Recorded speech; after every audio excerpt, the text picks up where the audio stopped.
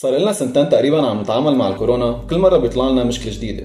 واحد من هالمشاكل هو المتحور دلتا.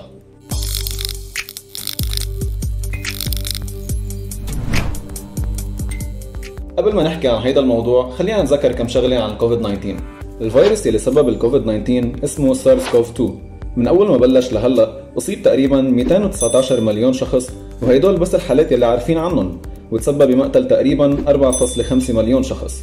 بيتم تشخيص الكوفيد 19 من خلال تحليل مخبري. تشخيص بفحص المريض وحده صعب لأن العديد من علامات وأعراض الكوفيد 19 يمكن تكون ناجمة عن أمراض أخرى. بعض الأشخاص المصابين بالفيروس ما بتبين عليهم حتى الأعراض. اعتبارا من تموز 2021 صار في عنا أربع متحورات رئيسية انتشرت بين سكان العالم. أول شيء متحور ألفا المعروف سابقا باسم متحور المملكة المتحدة والمشار إليه رسميا باسم B117 تم العثور عليه لأول مرة في لندن وكنت.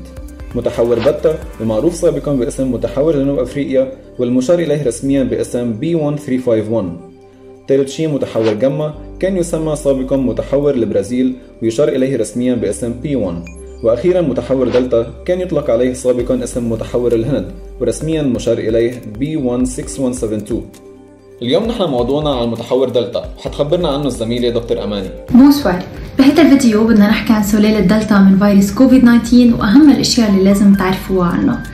اولا تعتبر هذه السلالة أكثر عدوى من سلالات كوفيد الأخرى. ظهرت لأول مرة في الهند بديسمبر 2020 ومن ثم اجتاحت الهند وبريطانيا بسرعة كبيرة حتى أصبحت البديل السائد بالولايات المتحدة الأمريكية أيضا.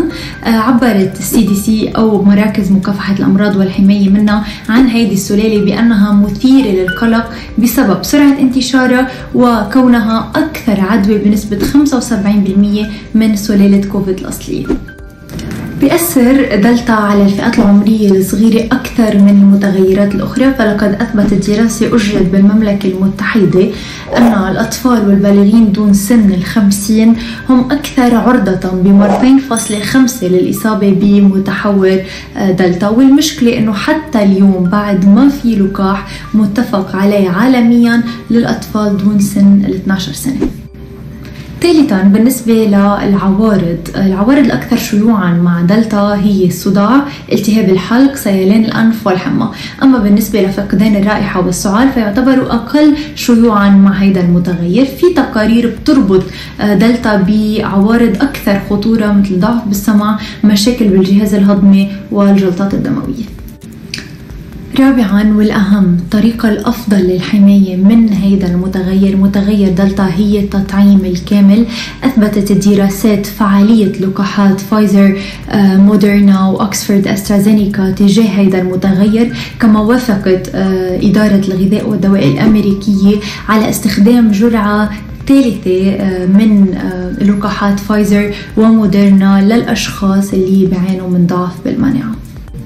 أخيرا لازم نعرف أنه فيروس كورونا رح يستمر بالتحور وتطوير آليات جديدة للهروب من الدفاعات المناعية بالجسم. كل ما زاد عدد الإصابات كل ما زادت فرصة حصول التحورات الجديدة. كرمال هيك رح يبقى تطعيم الحل الأنسب والأفضل للحد من انتشار العدوى. So please get your vaccines and stay safe.